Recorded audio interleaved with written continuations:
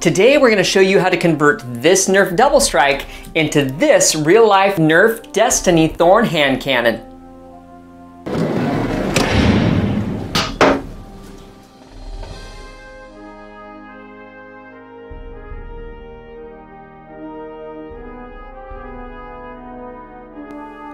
Hey everybody, I'm Jonathan and this is Damaged Darts, where my son Chandler and I specialize in converting ordinary Nerf blasters into extraordinary prop-worthy blasters from popular video games and movies, and show you how you can do it too.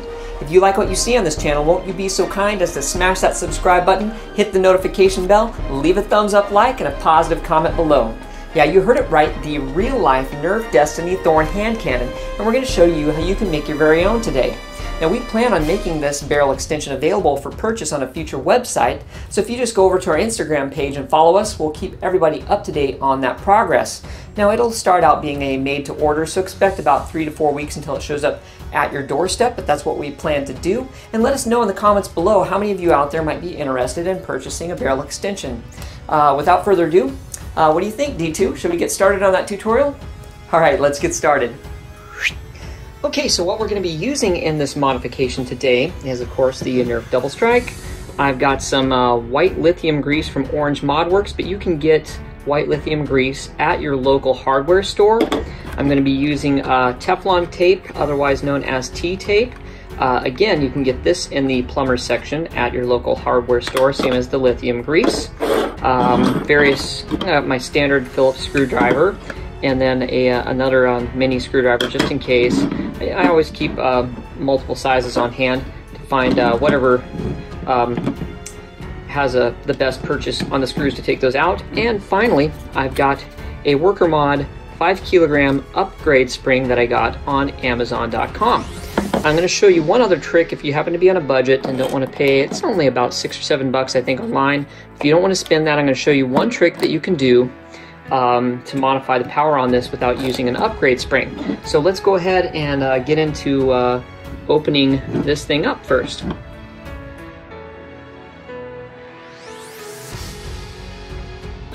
Okay, I've got everything, uh, the clamshell separated here, everything opened up. This is what the internals of a Nerf Double Strike looks like. So what we're gonna work on first off is the uh, O-ring on the plunger. So we're gonna pop that out. It's already a pretty powerful spring in here. Start out just by sliding this out. And that is the O-ring. Now what we're gonna be going for is a, a tighter air seal around this. And so right now this slips pretty um, loosely here inside of the piston. So there's a lot of air getting past this little rubber O-ring, and we don't want that. We want to seal in as much air as possible to use all that energy to push those darts out of the barrel. So in order to do that, we're going to roll off this O-ring, like that. And now I'm going to take some um, just some 70% rubbing alcohol and I'm going to degrease this area because we're going to use the Teflon tape and wrap it into this slot here about two or three times um, to expand that area and give a tighter seal for this O-ring. Okay, so now that we got everything degreased here, we're going to take this Teflon tape, aka T-tape. We're going to give this a wrap around probably about two to three times probably do it. So you want to take care just to kind of push things in and then if hold it one end with your finger while kind of working your way around.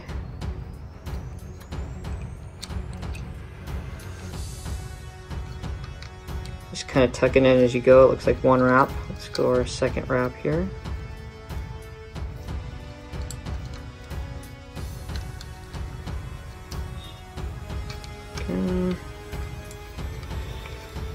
Maybe two and a half wraps.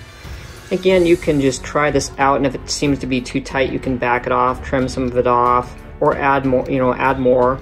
You can start another roll, um, another roll on there. It sticks together pretty good. I'm gonna take my. Eh, looks like it could probably go a bit more. Let's go around one more time. It's actually better to go around more And if you find that's too tight, you just can gradually trim off some of the tape until you get a good fit because you don't want it to get to the point where it will not push back into the piston.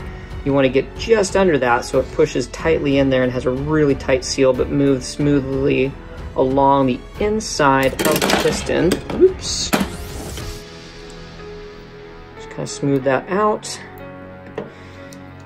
Moment of truth. Let's roll this O-ring on. And give that a try. Things are dropping things all over the place. Goodness. Okay. Okay, so now that's a bit much. So glad that happened, so you can see what happens there. So now we're just gonna have to back this off, probably a full wrap.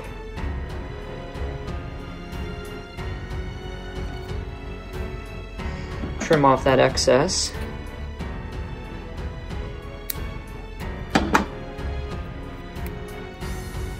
Okay, roll this back on. See what we got now.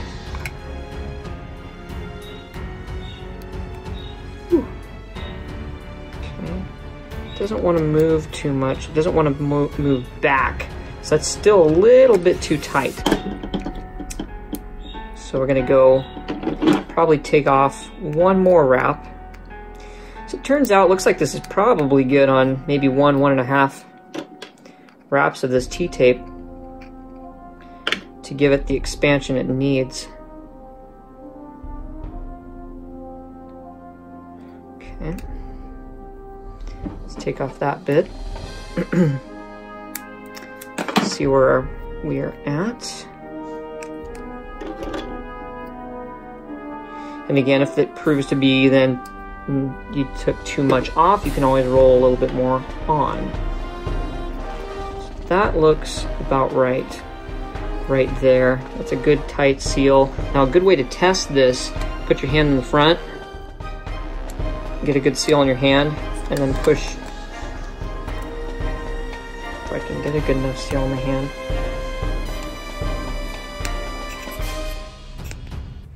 Yeah, you can kind of hear that. There's a lot of air right there, so I think that's going to be good right there. There's a good tight air seal. It's really wanting to vacuum up against, there. you get a lot of resistance. That's a little bit of a challenge. You're getting a lot of resistance there, so not a lot of air is slipping past. Um, so that's the seal we want. Next off is we're going to swap out this stock power ring, uh, correction, power spring. Get this rubbing alcohol out of the way. Okay, so yes, this is the stock spring. We are going to change it out with this Worker Mod 5 kilogram upgrade power spring. You can kind of see the difference between the two here. It is a much thicker gauge and it is uh, the coil is spaced out uh, further than this one so you get a lot more energy Whew, yeah a lot more energy charged up. You got a lot of give here and really takes a lot. So this is going to really do some serious pop. So now we're going to slide that back onto the spring post and um, set everything back in place. And one thing you want to do as you're putting this back together is uh, just take a photo. When you open it up for the first time. Take a photo for reference um, so you know which uh, parts go where uh, to put everything back together. Alright guys, false alarm. Actually, before we get this together, there's one more thing we have got to modify here on the performance. So I'm to have to pop this stuff back out again. Carefully, because this has the new mod spring on it. Pull the retainer clip. At least you guys will get a view of this, or another review of how to take it apart and reassemble it. A little bit of pressure here so it doesn't fling out on me. I'm going to slip that out past the post. Okay. So I'm going to set that aside. One other area we're going to need to modify is there's two little screws right here. but we're gonna need to undo those so that we can get, we need to take, a, take those posts out of the barrel here because that's creating too much friction um, on the darts. Because again, uh, we did, um, did this multiple times and tried it out and there's a lot of friction on the dart here. So we're gonna need to undo these two springs, or uh, correction, under, undo these two screws. Okay. Da, da, da, Unscrew that. Drop down there. And then I'm going to need to get in here with some, uh, actually I can push this out a little bit with screwdriver. I might try my uh, needle nose pliers to kind of work this piece out.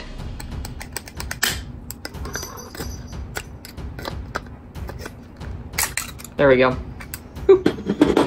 It's got a nice tight fit in there. So what we're gonna need to do is, um, this is the air mechanism, that spring-loaded area that does, this is what creates the um, succession of shooting the darts. So one will fire, so they're both compressed, no air is getting there. One will fire off and that will seal off that chamber and the air would be directed to the second one uh, following it. But uh, we're gonna leave those alone, but we're gonna push these little tines back and I'm gonna use some wire snips so you can even I can even use my um, Dremel cutting wheel. I'll probably do that in just a bit. Use my use my wire snips here just to cut these posts off. I do not want those because as you can see it goes from thin and it tapers up. That grips the uh, dart a little too much and takes away some of the power from it, especially if you're using some of the other kinds of darts. So push those little pieces back into the spring uh, and then as far up as you can go and bingo, clip those off, get those out of the way. So you've still got the, the seal chamber there, but we don't have that nuisance of the post. Again, all the way up there clipping off that post. Okay, so now we've got this modded, the posts are out of the way, we're gonna drop this back in, get everything back together and screwed in place. One other thing you wanna make sure of is when you're putting this back in, this cylinder that sticks out forward has got to go on the top. You're basically matching the barrel um, layout there. So that's how they've got to go in. Okay, and one final thing I wanted, uh, I almost forgot to tell you guys before we get this thing back together, is uh, if you don't want to do the upgrade spring here, one thing you can do is uh, you can put a little compression, uh, a little spacer, plastic piece here that compresses the spring further and gives it a lot more energy, a lot more torque. Um, we have, you and chances are uh, you can try to use a PVC, we did, but that didn't quite work.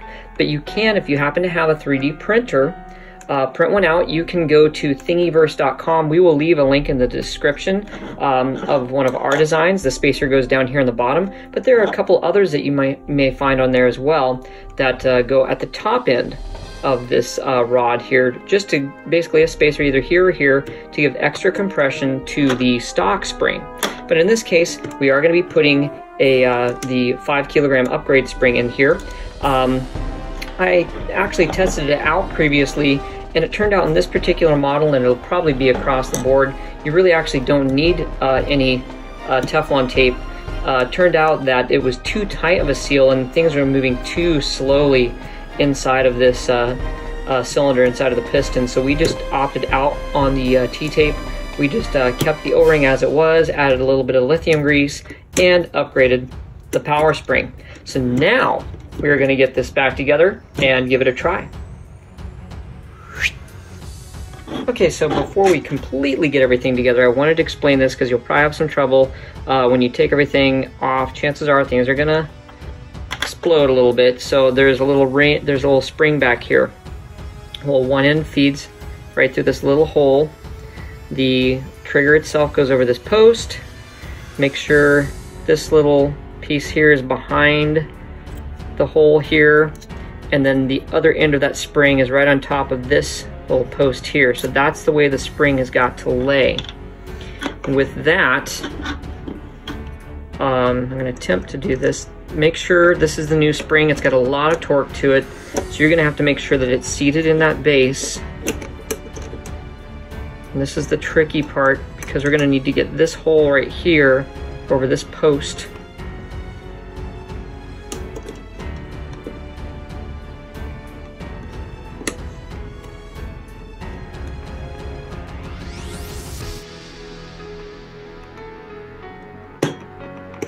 Okay. And the hammer behind it like so. And the barrel in place there. Um, looks like the screw is wanting to come loose here. I'm going to give that a little bit more of a tightening. Do not want that.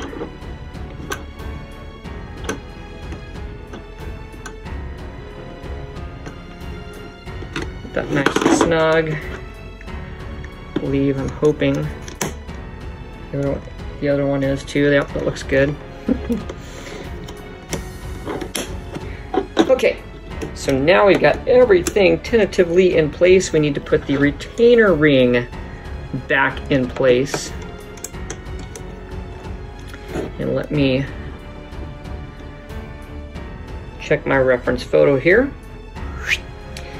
The retainer goes into the post here, over these two metal posts, eh, so into the post here, these two metal posts, and the post here. And that will reinforce everything, snap it all into place. Now we have everything secure and we are ready to put the clamshell back on. These little doodads are tricky and a pain. I'm gonna make sure to get that little spring-loaded Picatinny portion in there. That looks pretty good. And Putting the clamshell back on.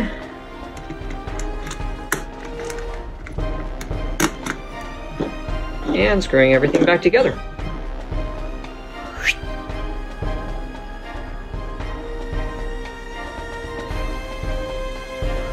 Okay, so now I'm going to get this double strike prepped for the barrel extension. I'm going to need to trim off this little tab here and here I'm also going to need to trim off the these little edges that stick out along the Picatinny rail uh, because I've got the, uh, the fins on either side and that sight down the middle that need to go over the top and these obstruct the way. So again, I'm going to have to take it off right there, right there, here, and here. So I'm going to have my, uh, I've got my Dremel cutting wheel and I'm just going to uh, slice those off.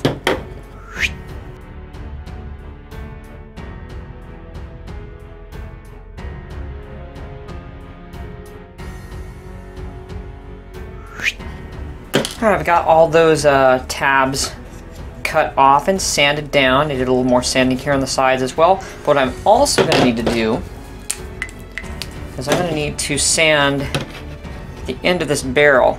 It's going to be flattened on here, right here, right here, and right here. So I got to flatten those little rims um, on either side. So I'm going to put a little color here.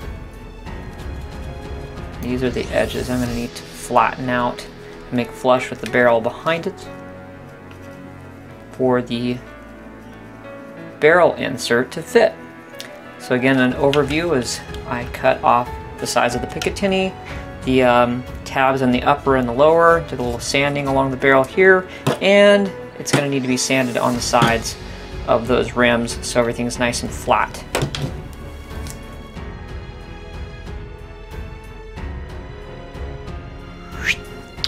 Alright, so I went ahead and uh, sanded off. I had to actually round off the ends here as well. Basically what you're going for is mimicking, this is the insert, that oval shape of the insert, that is what you're going for on the end of this barrel so it slides in easy. Now take care to gradually, little by little, do your sanding because you want a tight press fit. This might be a little loose on my end. It slides on perfectly.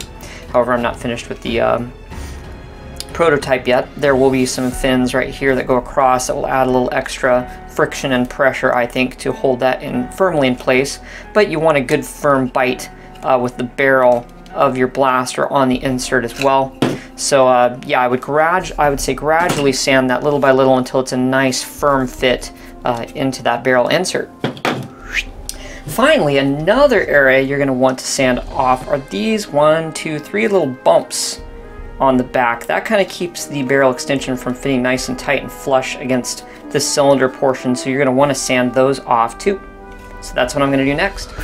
So if you happen to over sand your barrel, as I did in this case, it is a possibility, so don't lose hope. You can fix it. All you have to do is sand down, uh, rough up the edges of the barrel, and use some JB Weld uh, epoxy putty. This is two-part epoxy uh, with the hardener in the middle and the epoxy in the outside. You just pinch off uh, a, a, bit of an amount and just mush it together to, until you get a consistent color, and then just uh, mush it on either side of the barrel, and then you can kind of then you can start over and gradually sand it down until you got a nice press fit for your barrel extension. Next, I'm going to be taking this blaster. I've got the screws loosened up uh, because I'm going to disassemble it to get the sanding done for the painting. Uh, but before I do that, I'm actually going to tighten these back down because I've got marked right here with some black Sharpie marker. I need to take my Dremel cutting wheel and cut that section out as that part is um, removed for that uh, Destiny Thorn blaster. We've got that space, that gap in between. It's going to cut that out first. Then I'm going to take it apart, go over it with some fine grit sandpaper and some steel wool in between all the crevices so I get a good sanded surface for a good bite for the gray primer that I'm going to be putting on next. Alright, so now I've got everything prepped. I've got the, um, the putty, the epoxy putty in here and sanded nicely. Uh, and in this side of the clamshell, everything gone over with the steel wool. Now I'm going to apply the gray primer. Alright, I've got the blaster all coated in the gray primer. What I'm going to be doing next is, well, first off, I modeled the gear cylinder thing, but um, the challenge with this is that it tends to make the gun a little too wide on the side. So my um, backup plan, actually my better plan is to use what's existing on this blaster and what I'm going to be doing is I'm going to be taping off right here and along this section here and that is going to serve and actually it's a little better to scale more to scale actually if I do it that way I'm going to tape this off right here and paint this with the antique gold to be that uh, gear cylinder on the blaster.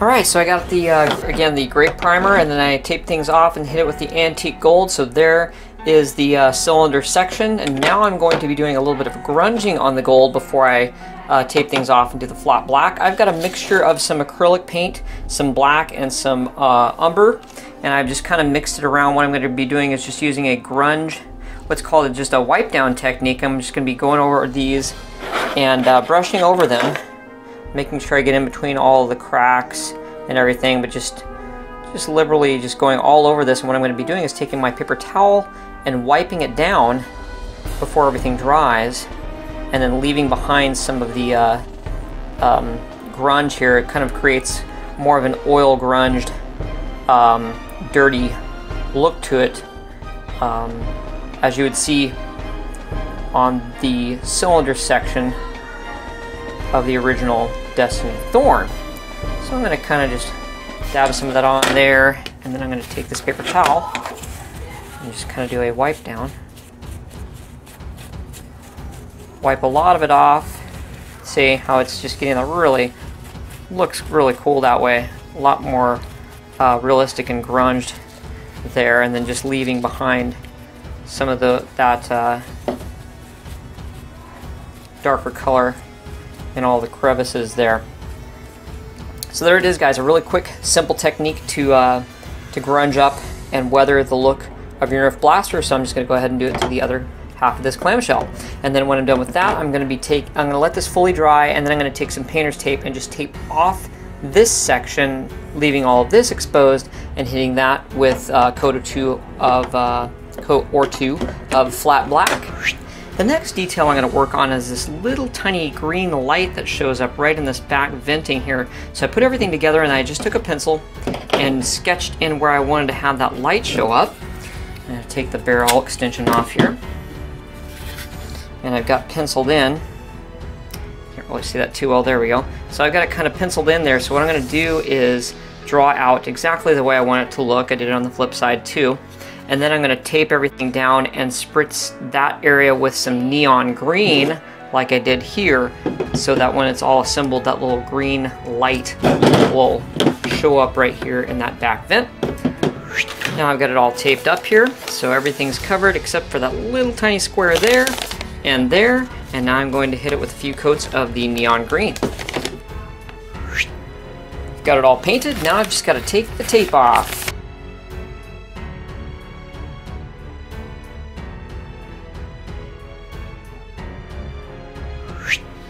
So there it is, really pleased with the way it turned out. I did have to uh, hit it with a little bit of white primer first so the green would show up better. That's why I got a little bit of white right here, but that doesn't matter because once this thoroughly cures, I'm gonna let it let both of these just set overnight and fully dry. Then of course I'm gonna put a little bit of little square of tape over each of the green light areas and then tape over these areas here and hit this whole thing with a nice coat or two of flat black. Alright, so I've let everything dry overnight, so now I'm going to be taping off the cylinder sections and this little green light section on either side.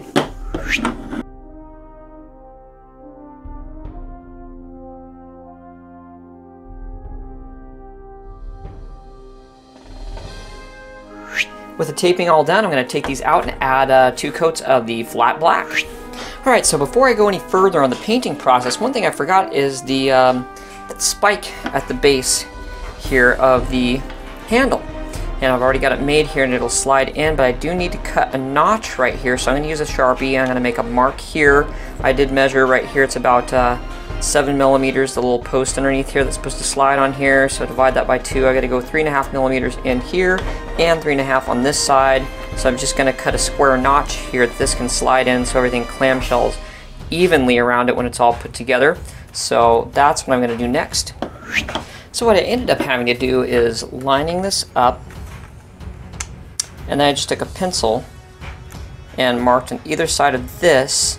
Then I took my calipers and just kind of eyeballed it in from the edge of the top piece to the post and it was approximately 3.04 millimeters on either side and then I just uh, put that as a marker and then made my marks again on the handle. So now I've got where I need to cut and then I've got to measure in three and a half millimeters and make that. Now the good thing about this is since everything's symmetrical, once I make my cut here, I can put these two together, make some marks on this one where it's located and cut that one in three and a half millimeters.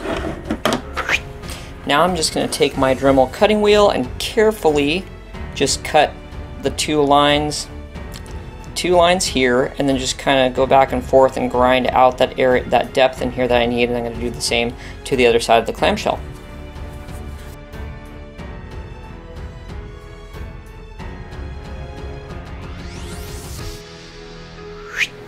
Alright, so I've got the notches cut. I just kind of went back and forth and um, lined things up. Made First, of course, made my pre preliminary marks and then um, just cut it out lined it up, made sure both of them were um, both symmetrical, just kind of penciled in where I needed to make, just kind of penciled in where I needed to make some more shavings and just kept going back and forth until I got what I needed and also fitted the, uh, the spike in here and when it wasn't quite fitting in I just kind of shaved some more, a little bit wider uh, until it snapped into place and then of course went back and lined it up to make sure everything was flush on the other side of the clamshell and voila I've got it all set so this will snap in here and this snaps in evenly on the other side so that turned out now I'm going to continue on um, prepping for the next phase of painting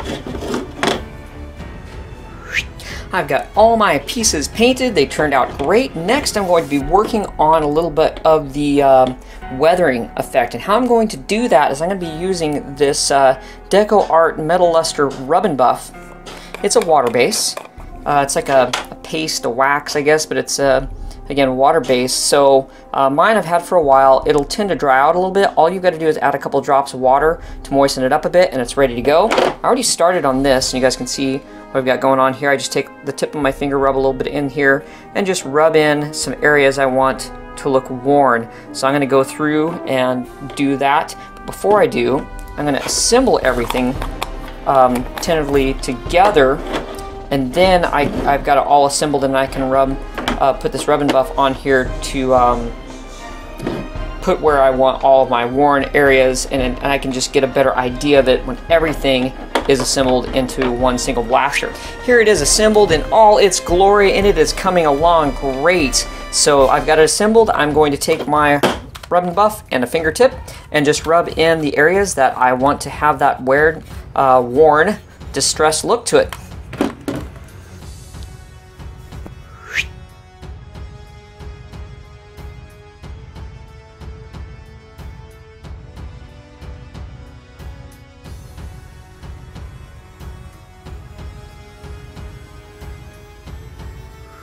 All right, it's almost there. Now I've got all my rub and buff on here. I've got my weathering the way I like it to look. I didn't want to do it too much, just light weathering on it. Turned out awesome. Now I'm going to be taking the tape off for that big reveal. So let's go ahead and do that right now to reveal that golden cylinder area we grunged up the other day.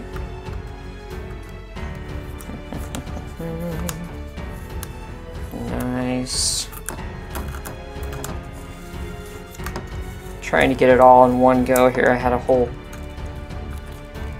bunch of little bits to cut and put together. The look I wanted. Ah ha ha, there it is. So that turned out great. So I'm gonna go ahead and untape the rest of this and then that little um, piece in the barrel there that shows that little green light. And then we should be almost ready to, uh, well, pretty much ready to get all the internals back together and have this completed. I've taken the tape off there, turned out great. There's my little green light on both sides of the barrel. Now all that is left to do is get these internals back in here and we have got ourselves a real life Nerf Destiny Thorn hand cannon.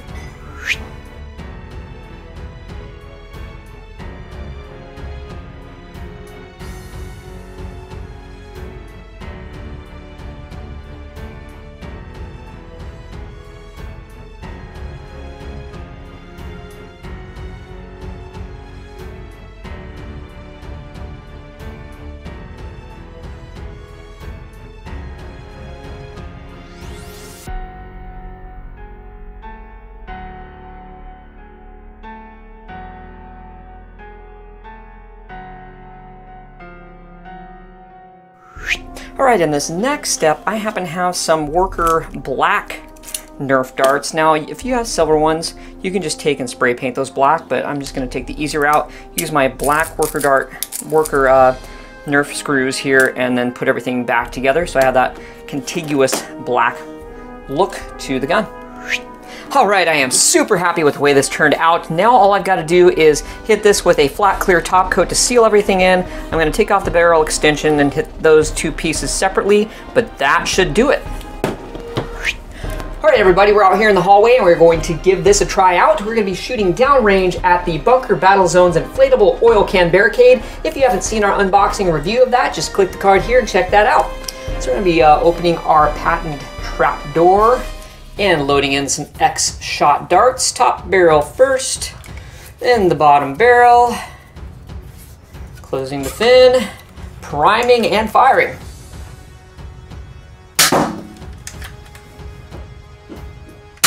Yeah, it really pops. All right, let's uh, load a couple more and uh, give it another go. So again, top barrel, bottom barrel. Trapdoor really makes a, a good ease of use. Closing, priming, and firing again. Yeah, that really pops after those modifications on the inside. So there it is, guys. The real-life Nerf Destiny Thorn hand cannon. Alright everybody, hope you enjoyed watching the tutorial on how to make a Nerf Double Strike into this real-life Destiny Thorn hand cannon. If you haven't subscribed to our channel already, just click the double D icon below. You'll help us create more cool content for your enjoyment and inspiration. Until next time, I'm Jonathan, and this is Damaged Darts.